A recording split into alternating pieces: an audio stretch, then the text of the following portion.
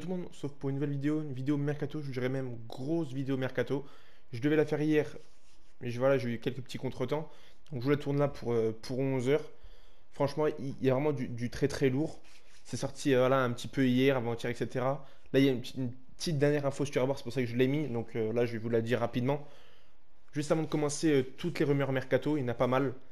Attendez, je vais juste compter. Il y en a 1, 2, 3, 4, 5, 6, 7, 8 plus Hour que aujourd'hui, donc ça fait 9. Donc voilà, il y a pas mal de choses à dire. Donc peut-être que la vidéo va durer un petit peu de temps.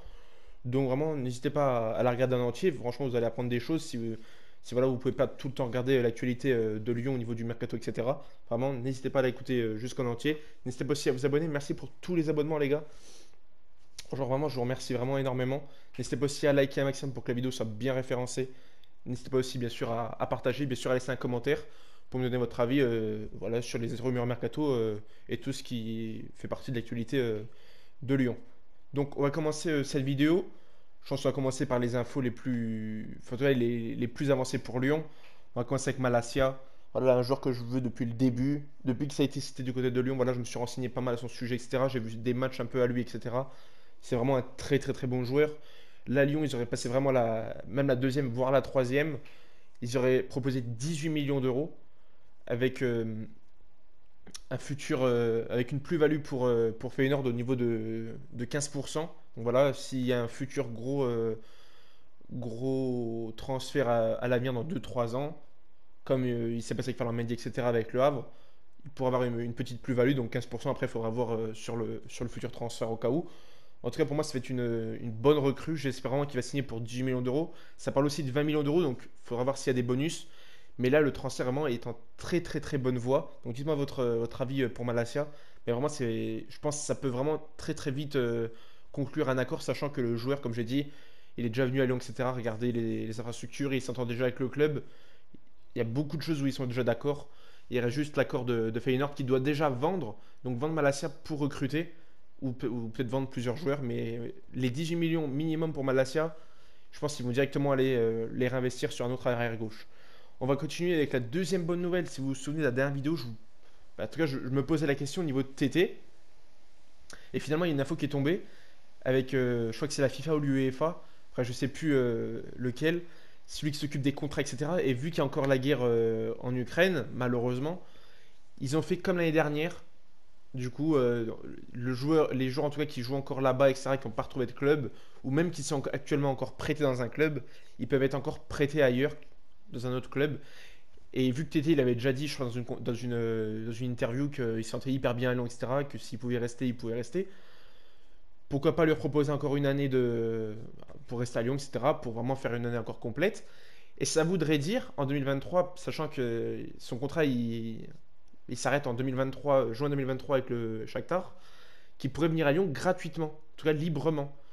Et ça fait que ça nous éviterait de dépenser une somme folle, comme il y avait eu à un moment 28 millions, si vous vous souvenez. Même que ça avait fait euh, vachement graisser les dents, surtout dans, mes commentaires de vidéos. Donc vraiment, c'est une très très bonne nouvelle si on peut le récupérer euh, un an euh, grâce au nouveau contrat voilà, de la FIFA, je crois. Franchement, c'est vraiment une très très très très bonne nouvelle. J'espère qu'il va être d'accord pour rester. En tout cas, c'est vraiment, ça va nous préparer vraiment une attaque de feu avec du Lacazette, du Paqueta peut-être s'il reste. En tout cas, on va y venir justement. Petite transition avec Paqueta, qui malheureusement s'est blessé, je sais pas si vous l'avez vu, avec un cerf-volant, donc il va se repérer du doigt. Donc courage à lui. Parce que je l'ai vu une photo avec, euh, avec le doigt, euh, il avait le doigt bandé, etc. Donc voilà, il va être obligé de se faire opérer. Mais il y a eu une offre pour Paqueta, en tout cas des renseignements pris par Tottenham. Tottenham qui a vraiment beaucoup, beaucoup de moyens à mettre. Et ils auraient vraiment jeté leur dévolu sur Paqueta. Il faut savoir que, que moi j'ai vu aussi des infos comme quoi Lyon serait prêt à le à le faire partir pour seulement 50 millions. Après, on a vu 60 millions dans, quand il y a eu euh, les offres de Newcastle. Après, c'était monté plus haut. Donc, on va voir avec, euh, avec le temps. En tout cas, Tottenham est, sur Paqueta. Donc, euh, on va voir ce qui se passe dans, dans les jours à venir. Voilà, donc j'espère qu'on va réussir à convaincre Paqueta de rester avec le nouveau projet, etc. Mis en, en place, en tout cas, par Textor et Olas. Olas, bien sûr, voilà, qui va rester 3 ans de plus. Donc, espérons qu'on va qu'on réussisse à convaincre Paqueta pour, réaliser vraiment une grande, grande saison. Je pense que là, les moyens vont être vraiment mis en œuvre et ça va passer par. Euh, pour garder en tout cas Paqueta encore au moins, au moins une ou deux saisons. C'est en tout cas ce que espèrent les, les, supporters lyonnais, on va pas se mentir. Ensuite, les, les autres rumeurs. on va y passer en dessous. On va commencer par, euh, par Umtiti. Donc voilà, je sais pas si vous avez vu euh, hier, il y a eu des petits trucs comme quoi euh, il voudrait vraiment revenir à Lyon. Il faut savoir qu'il y a aussi Nice qui est dessus. Mais lui, il voudrait vraiment revenir. Mais en tout cas, comme je l'ai dit plusieurs fois, même si Lyon aussi réfléchit à le, refaire revenir, il va jouer en quelle position? Il titulaire, c'est pas possible. Il a trop peu de matchs dans les jambes. Donc au minimum des minimums, il va être euh, la doublure de Loukeba, c'est-à-dire numéro 3, voire peut-être numéro 4.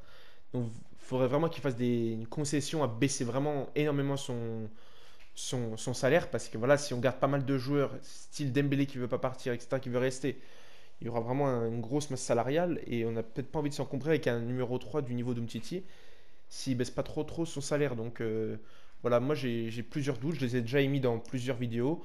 Je suis obligé de reparler d'Umtiti parce que voilà, ça retombe. Comme je l'ai dit que il voudrait vraiment revenir.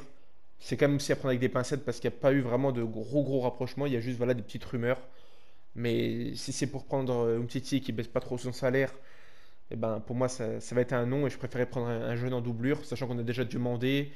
On a aussi d'autres petites pistes, etc. Donc je préférais qu'il aille dans un autre club. Ensuite, euh, autre info, c'est Zach, je sais pas comment ça se prononce. Je crois que c'est un, un Slovène ou Slovaque. Attendez, je vais vérifier. Voilà, c'est un Slovène qui joue à Fenerbahçe, qui réalise une bonne saison. Donc euh, Zach, j'ai noté quelque chose sur lui, c'est qu'il a une fin de contrat en 2023, il coûte 6 millions d'euros. Donc ça m'étonnerait que si vraiment on est vraiment euh, intéressé par lui, bah, Fenerbahçe demande plus de 10 millions d'euros. Il faut savoir aussi, comme je vous ai dit dans une autre vidéo, après je, crois que les vidéos, je les avais tournées avant, qu'il y a vraiment le, les énormes abonnements qui sont arrivés euh, cette dernière, ben, la, semaine dernière, etc.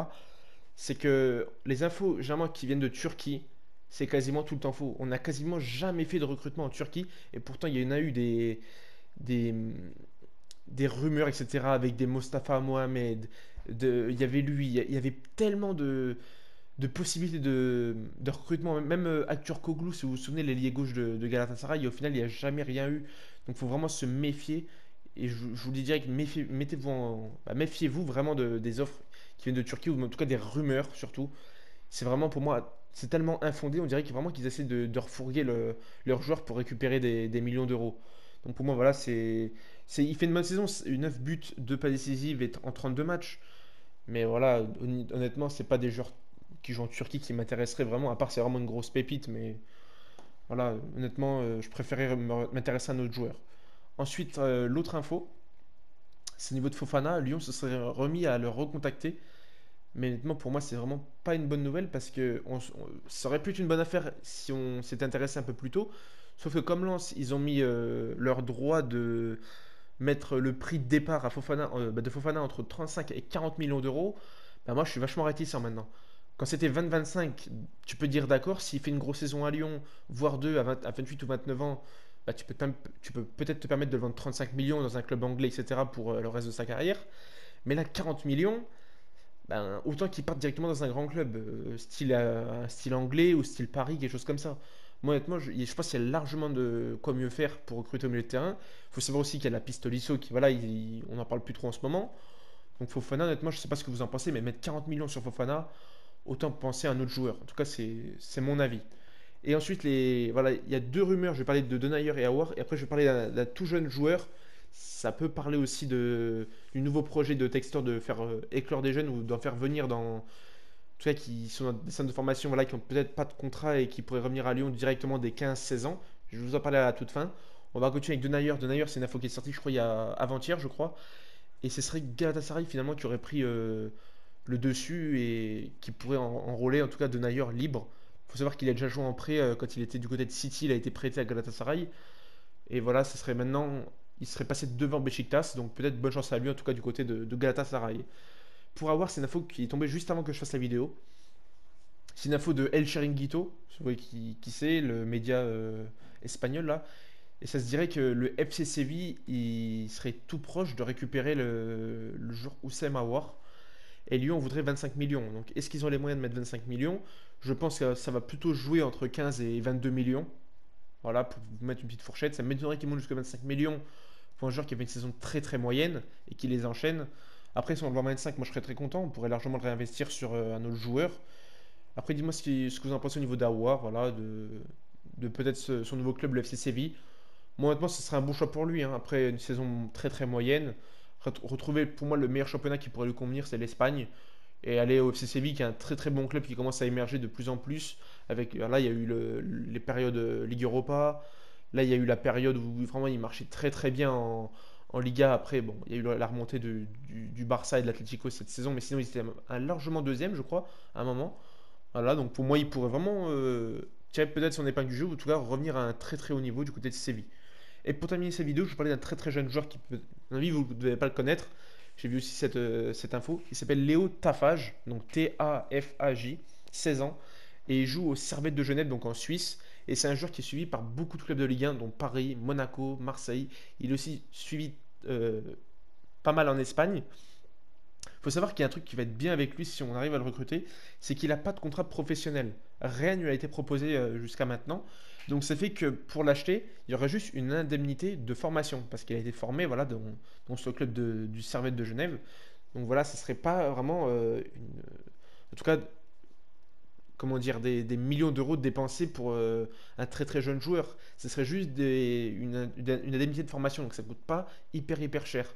Donc si on peut récupérer euh, un joueur d'un très très bon calibre, en tout cas s'il est suivi par beaucoup de clubs de Ligue 1, etc., ça ne doit pas être un joueur euh, très très moyen ou mauvais, et qui, je crois qu'il fait 1m90 si je ne me trompe pas. Je sens que j'ai des petites trucs viennent, de petits trucs de bribes d'articles qui reviennent dans ma mémoire. il doit faire 1m90, donc un profil assez costaud. Franchement, euh, si on peut faire le coup et qu'il s'avère être très très fort, pourquoi pas le faire venir? En tout cas, il pourrait progresser avec les U18 ou 19. Et après, à l'avenir, bah voilà, hein, s'il s'avère être très très bon, il pourrait venir euh, directement en, doublure ou voilà des futurs euh, défenseurs centraux de, l'Olympique Lyonnais. Donc voilà, j'espère que cette vidéo vous a, vous a plu. Je ne sais pas si elle a été très très longue. Voilà, j'ai pas de, délai.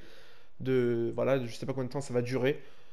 En tout cas, j'espère vraiment voilà, que cette vidéo vous a plu. N'hésitez pas à vous abonner, à liker, à partager, à commenter. Ça fait toujours très très plaisir de vous tourner des vidéos mercato. Dites-moi votre avis dans les commentaires sur toutes les rumeurs que je vous ai énoncées. Je vous laisse là-dessus. Passez une bonne journée. Il y aura peut-être une vidéo qui arrivera euh, prochainement, dans quelques heures, au niveau des, officialisations qu'il y a eu euh, hier. Je vous laisse là-dessus. Ciao les gars.